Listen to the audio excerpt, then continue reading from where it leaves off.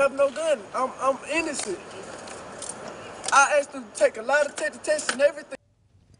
A former Baton Rouge police officer accused of lying wins his appeal to get back his job. Yusuf Hamadeh's lawyer convinced a board that police procedure was violated when his client was denied counsel during a polygraph test. Hamadeh was fired when investigators say he falsely accused Raheem Howard of shooting at him during a traffic stop. Now, today's vote does not mean that Hamadeh will be automatically reinstated. Attorneys on both sides say the fight is far from over at this point. And NBC Local 33's Crystal Whitman joins us now with what Raheem Howard's lawyer is saying about this tonight. Crystal. Well, that's right, Dion. We're speaking to attorney Ronald Haley, Raheem Howard's attorney, to see how he feels about this. Sir, thank you for joining us. Thank you for having me. All right, so first question for you is how do your clients feel about today's decision? Um, his mother uh, and Raheem absolutely devastated. I spoke with both of them before coming here today. Uh, Raheem literally was in tears over the phone with disbelief that uh, a miscarriage of justice he feels has happened, and I would tend to agree with him. Well, that was my next question for you. Do you think that the board did the right thing with the facts that were presented to them? That's a tough one. I do understand what the Police Officers Bill of Rights says.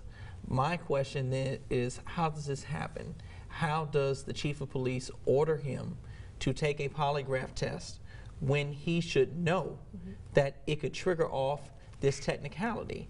Um, another problem is the reason for him being fired, at least publicly, was watered down.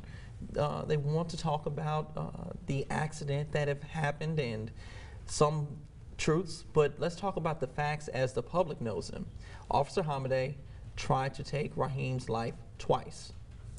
Once with a bullet, once by putting the false charges of attempted murder of a police officer on him and sending him to jail. That is the reason why he was fired. And that's what we are going to be fighting for. Wow. All right, sir. And so, speaking of fighting for, what happens next at this point? Well, um, they're going to do an appeal. We'll be watching diligently, and hopefully, after the appeal is done, um, Officer Hamadeh is not allowed back on the streets. Um, he's a compromised officer at this point. You could go to the district attorney's office. They are in the process now of trying to purge their files of a officer that has been caught in a lie. Um, us, as far as myself and the legal team representing Raheem, we plan on filing lawsuit in this case in the upcoming days. Awesome. All right, sir, we thank you so much for your time, and we're going to continue to follow this case and have more information on brproud.com. And guys, we're going to send it back to you. Crystal Whitman there with attorney Ronald Haley tonight.